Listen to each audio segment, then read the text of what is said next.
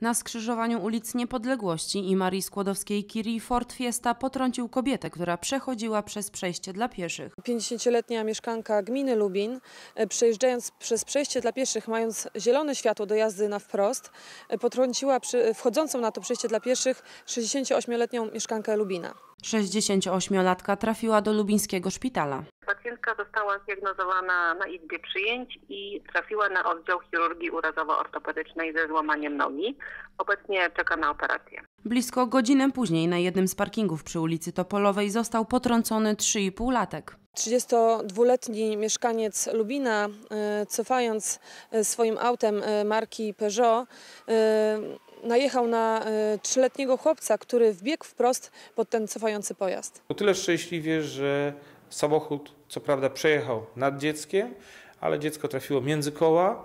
Mm, Ma takie ogólne y, powierzchowne y, zadrapania, potłuczenia.